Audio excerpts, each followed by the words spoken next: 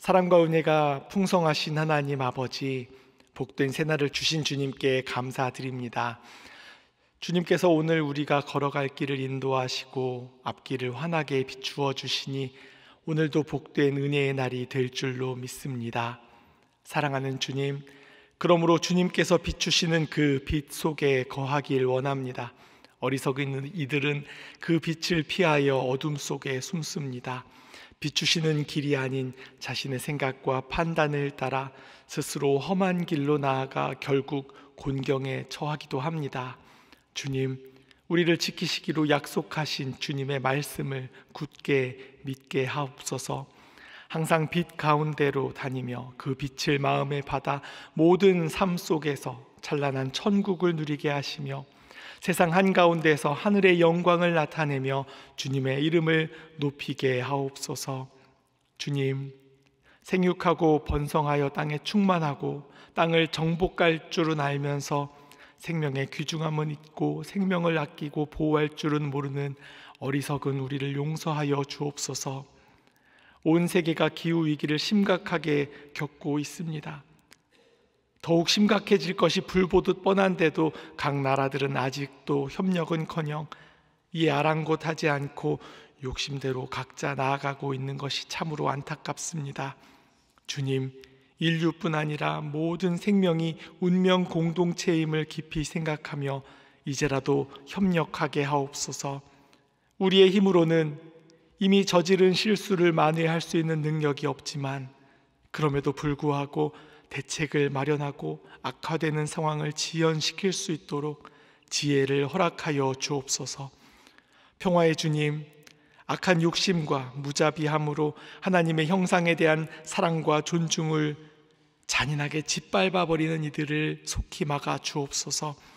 평화가 깨어지고 일상이 무너진 땅에 이제 따뜻한 봄날이 찾아오게 하옵소서. 교만한 길의 끝을 보고자 하는 어리석은 지도자들의 생각을 돌이켜 주시고 이제 미움과 증오의 사슬을 끊고 구호와 재건의 길로 화해와 평화의 길로 나오게 하옵소서. 우리나라 대한민국을 위해 기도합니다. 한 달이 채 남지 않은 선거를 앞두고 여러 후보들이 열심히 자신을 알리고 있습니다. 이들에게 하나님의 지혜를 허락하사 우리나라 앞에 놓인 여러 어려움들을 잘 극복할 수 있는 방안들을 마련하게 하옵소서.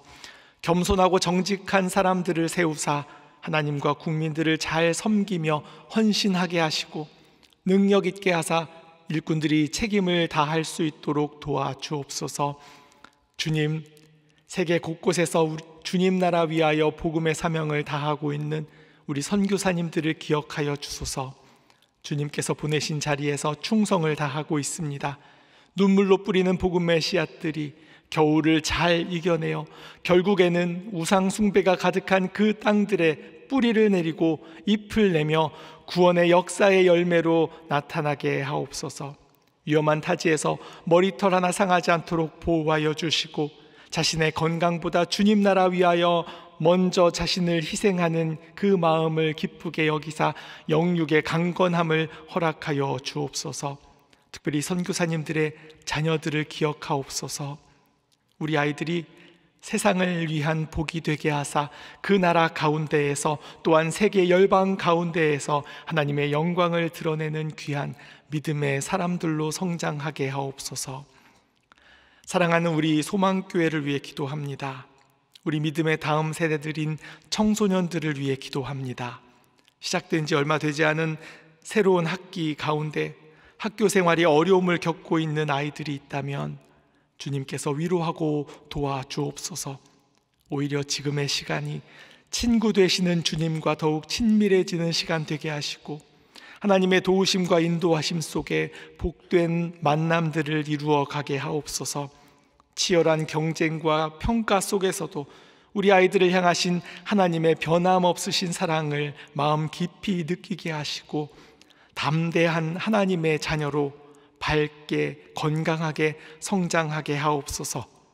하나님 안에서 꿈과 비전을 발견하며 하루하루 그 꿈 이루어 나가는 행복이 가득하게 하옵소서. 특별히 우리 가운데 이단에 미혹된 가족으로 마음 아파하는 성도들이 있습니다. 주님 도와주옵소서 멸망의 길로 나아가지 않도록 분별력을 주시고 하나님의 지혜, 진리의 말씀을 바로 듣는 귀를 열어주소서 속히 돌이켜 생명의 길로 나아오게 역사하여 주옵소서 오늘과 내일 그리고 다음 주까지 있을 세례 입교 교육을 위해 기도합니다. 택하신 족속이요 왕 같은 제사장들이요 거룩한 나라요 하나님의 소유가 된 백성들이 복된 세례와 입교의 자리를 위하여 준비하며 나아갑니다. 이 교육의 시간 가운데 주님의 크신 사랑과 은혜를 깊이 깨닫게 하시고 믿음의 결단으로 주님 앞에 더욱 가까이 나아가게 하옵소서. 하나님 대장암 3기로 고생하고 있는 한 집사님을 위해 기도합니다. 12번이나 되는 항암 치료 가운데 손가락과 발가락의 마비 증상으로 고통받고 있습니다. 집사님의 몸과 마음을 어루만져 주시사 속히 회복되게 하옵소서. 오늘 대장 내시경과 CT 촬영을 통해 전이 상태를 파악합니다. 앞으로의 모든 치료 과정 속에 함께 하옵소서. 91세 되시는 어머니와 매일 가정 예배를 드리며 지금까지 암과 잘 싸워왔습니다. 앞으로도 하나님만 의지하며 이 어려움을 잘 이겨낼 수 있도록 갑절의 능력을 더하여 주옵소서. 이제 오늘 우리에게 주시는 하나님의 말씀 앞으로 나아갑니다. 주님 말씀하옵소서. 주님의 종들이 듣겠습니다. 예수 그리스도 이름으로 기도드립니다. 아멘. 하나님께서 오늘 우리에게 주시는 말씀은 베드로전서 2장 11절부터 17절까지의 말씀입니다. 함께 봉독하도록 하겠습니다. 사랑하는 자들아 거류민과 나그네 같은 너희를 권하노니 영혼을 거슬러 싸우는 육체의 정욕을 제어하라. 너희가 이방인 중에서 행실을 선하게 가져 너희를 악행한다고 비방하는 자들로 하여금 너희 선한 일을 보고 오시는 날에 하나님께 영광을 돌리게 하려 함이라. 인간의 모든 제도를 주를 위하여 순종하되 혹은 위에 있는 왕이나 혹은 그가 악행하는 자를 징벌하고 선행하는 자를 포상하기 위하여 보낸 총독에게 하라 곧 선행으로 어리석은 사람들의 무식한 말을 막으시는 것이라 너희는 자유가 있으나 그 자유로 악을 가리는 데 쓰지 말고 오직 하나님의 종과 같이 하라. 무사람을 공경하며 형제를 사랑하며 하나님을 두려워하며 왕을 존대하라. 아멘. 사랑하는 자들아. 베드로 사도는 편지의 수신자들을 다시 부르면서 11절의 말씀을 이어가고 있습니다. 그러면서 권하는 말씀은 육체의 정욕을 제어하라입니다.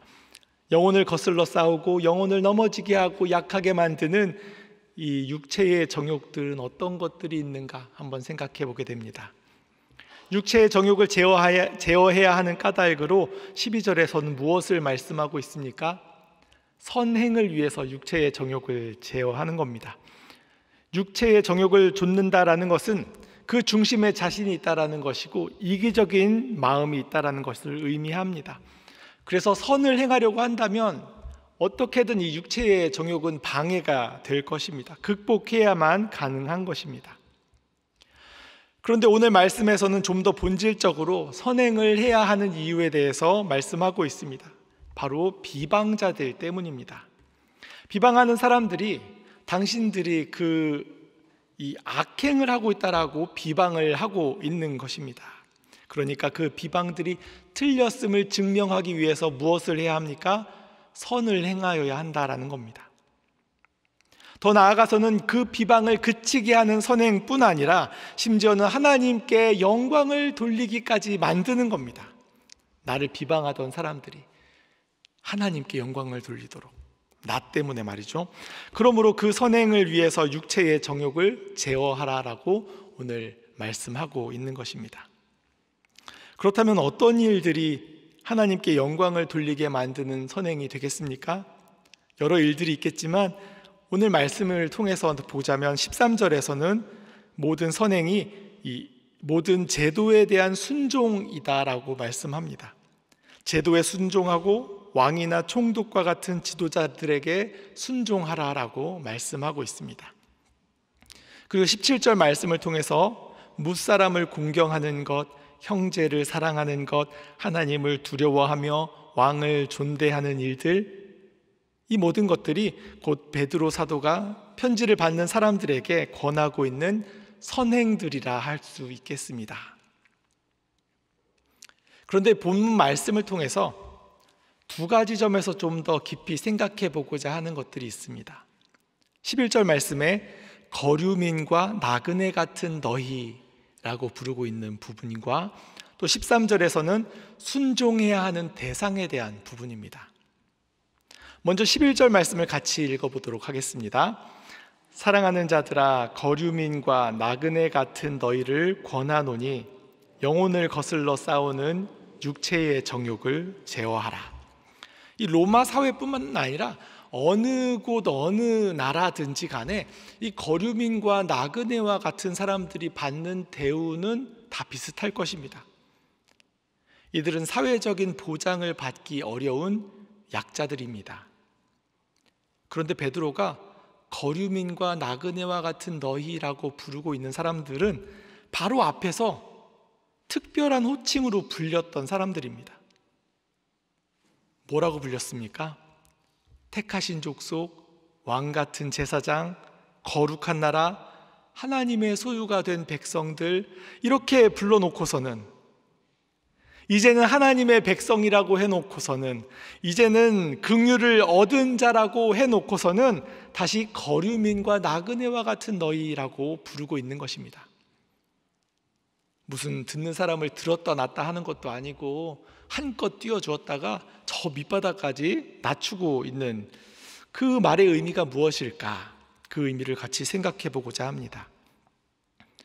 먼저 11절 말씀은 여전히 앞에서 했던 그 특별한 친구들, 호칭들에 대한 내용들의 연장선에 있다라는 것을 이 사랑하는 자들아라고 부르는 부분에서 말씀하고 있습니다.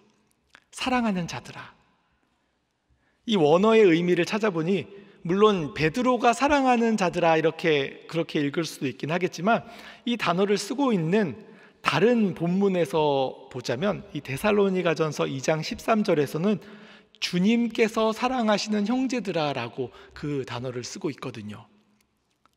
그러므로 내 이 베드로가 사랑하는 자들아라고도 할 수 있겠지만 주님께서 사랑하는 자들아, 주님의 사랑을 받는 자들아 이렇게도 읽을 수 있게 되는 겁니다.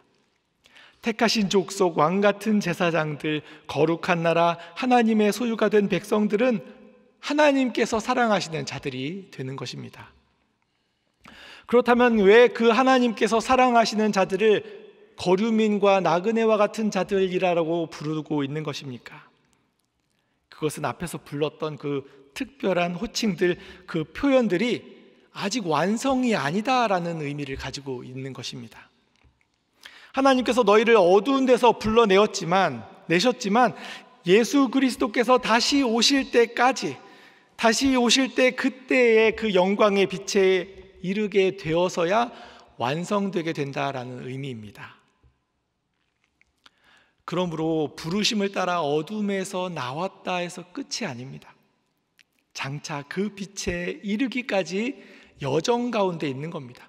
그 여정 가운데 있기 때문에 거류민과 나그네인 것입니다. 나그네와 같이 아직 끝에 이르지 못한 상태이기 때문에 지금 살아가는 삶의 자리에서는 육체의 정욕을 제어하며 선을 행하며 그렇게 온전하게 살기 위해 애쓰는 것이 마땅하다라고 말씀하고 있는 것입니다. 이 나그네는 어딜 가나 환영받기 어렵습니다. 다른 사람들은 그 자리를 지키고 머물러 있기로 머물러 있으려고 하는데 이 나그네라는 사람들은 그 자리를 항상 떠나려고 하고 있는 사람들이지 않겠습니까? 그의 시선은 다 항상 다른 곳을 향하고 있는 것이 나그네입니다. 마치 철로 역정을 보신 분들은 알겠지만 철로 역장에서 멸망의 도성, 자기가 살고 있는 도성을 떠나서 하나님께 나아가는 그 크리스천의 모습과도 같은 그러한 모습이 나그네의 모습일 것입니다.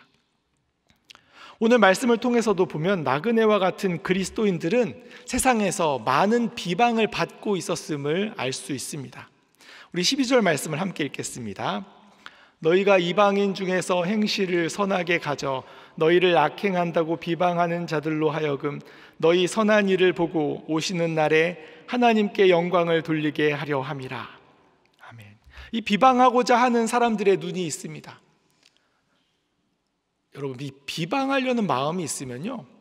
어떻게든 상대방에게 그 흠을 아주 작고 보잘 것 없는 흠이라 할지라도 그것을 발견해내는 특별한 능력을 비방자들은 갖게 됩니다.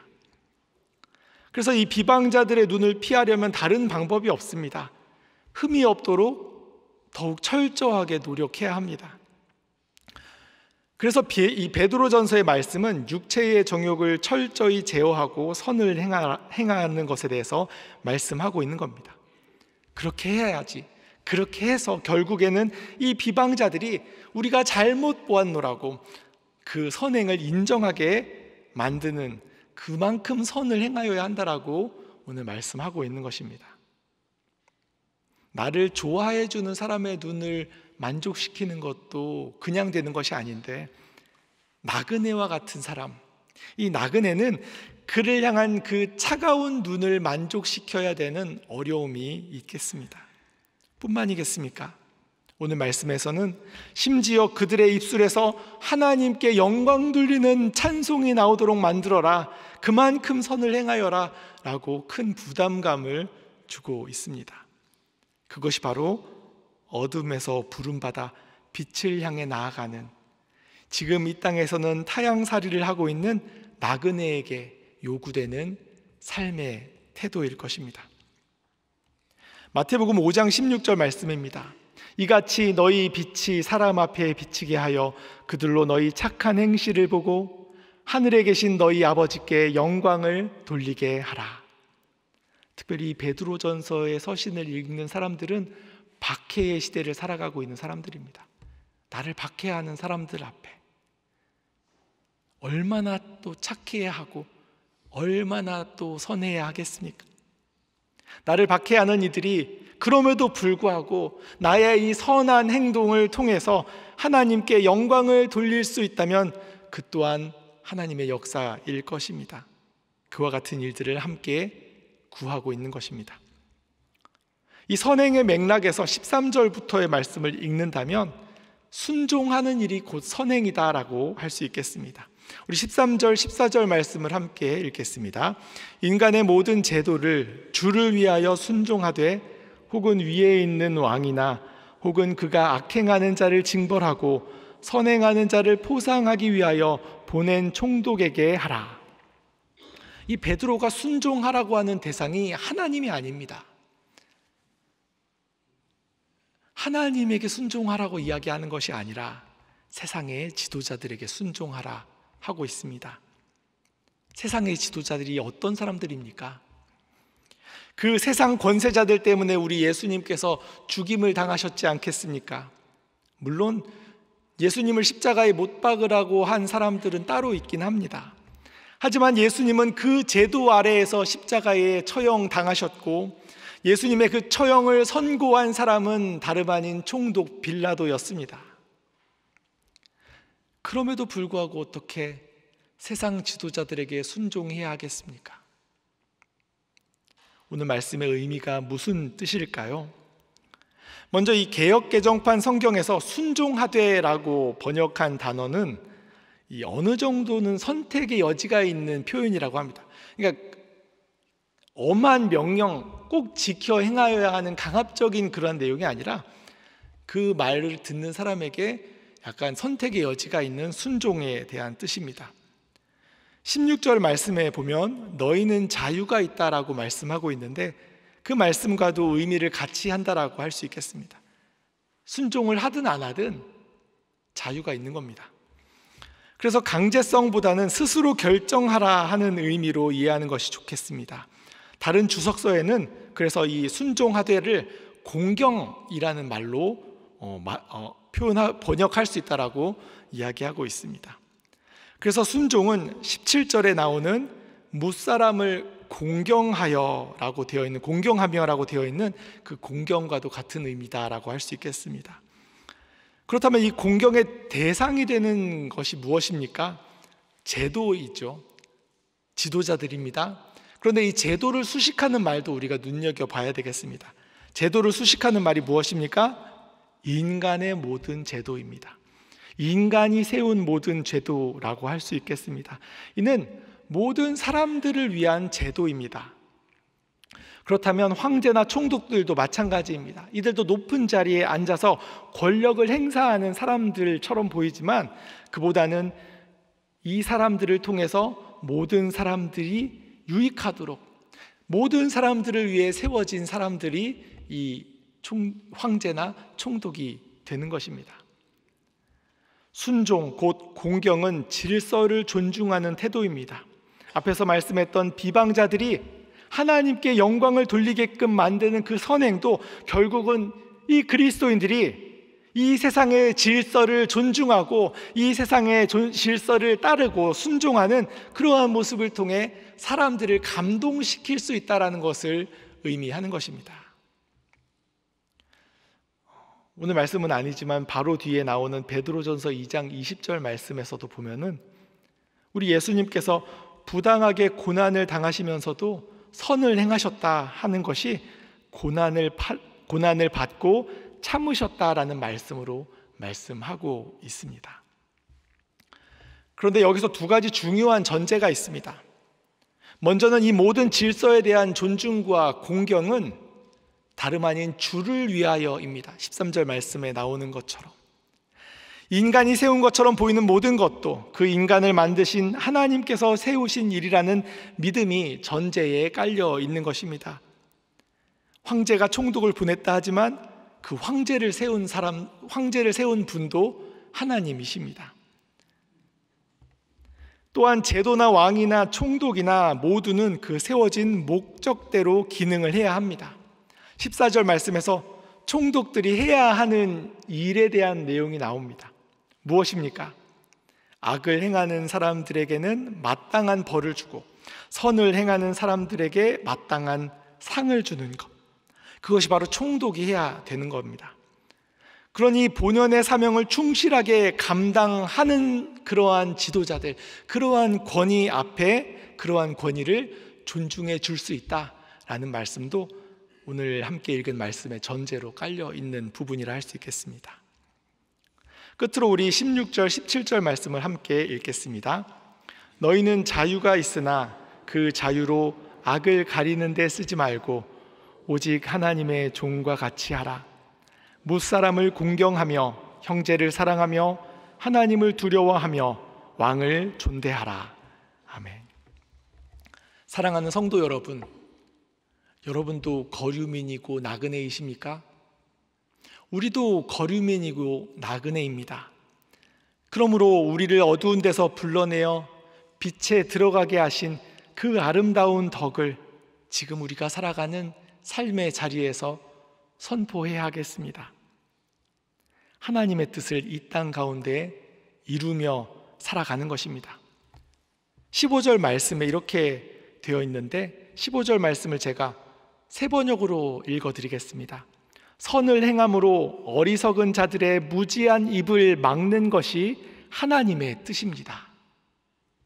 하나님을 알지 못하는 사람들의 그 어리석은 입을 막는 것, 그것이 선행이고 그것이 바로 하나님의 뜻이다라는 말씀입니다. 세상은 우리에게서 비방거리를 찾으려고 눈에 불을 켜고 있습니다. 그 가운데 우리는 어떻게 해야 되겠습니까? 우리의 이 선을 몰라준다고 원망하고 서운해 하겠습니까? 그보다는 더욱 선을 행하려고 노력하는 것입니다.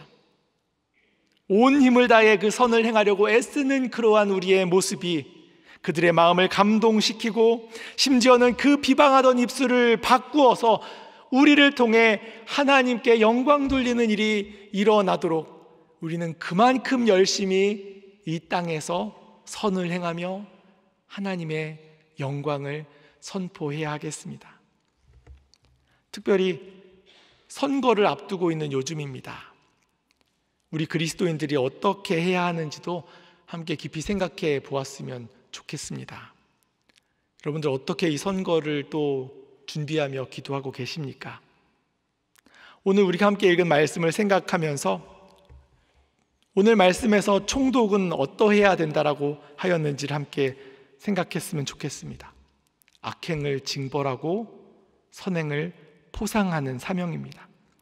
그러한 사명을 충실히 감당하는 사람이 총독이다라고 이야기했던 것처럼 바르고 정의로운 사람들, 무엇보다 하나님 앞에 정직하고 맡은 책임을 다할 수 있는 사람들, 그러한 사람들이 세워질 수 있도록 기도해야 하겠습니다. 또한 자기들이 해야 되는 그 마땅한 일에 대한 책임들을 감당할 수 있는 지혜와 능력을 갖춘 사람들이 세워지기를 위해 기도해야 하겠습니다.